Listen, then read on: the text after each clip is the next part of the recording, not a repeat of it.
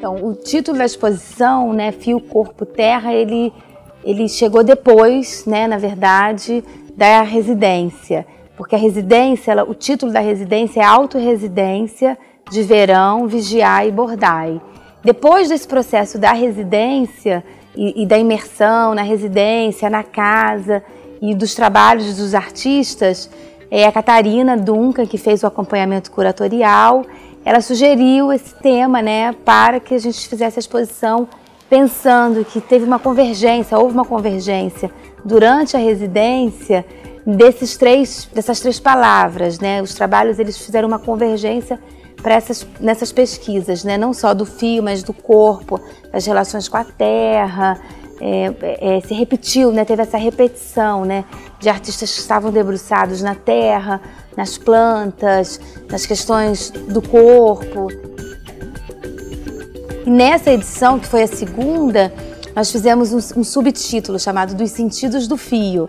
Então, esse foi o objetivo é, dessa, dessa segunda residência de verão na Serrinha do Alambari, que os artistas pudessem se debruçar nos sentidos do fio, na pesquisa e investigação com o fio, numa abordagem não apenas da linguagem, mas numa, numa investigação fenomenológica do fio, né? Do que, que é o fio, enfim, de onde nasce o fio, né? Quantos sentidos podemos adquirir a partir da experiência, da investigação com o fio.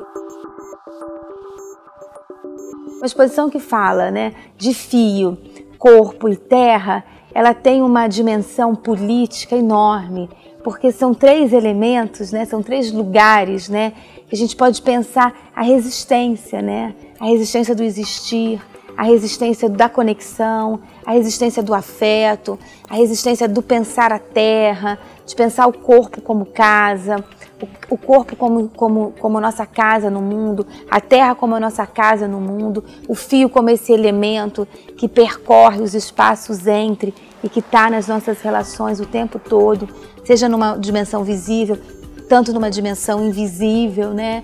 E pensando nesses processos de conexão, é, de conectividade, de acolhimento, é, de vínculo e também nessa outra dimensão do fio também, que é a falta de conexão, porque o mesmo fio que conecta, ele desconecta. Eu digo que o fio ele enforca, o fio desencapa, o fio ele, ele tem um, um lugar que é duplo e que a gente precisa pensar sobre esse fio também.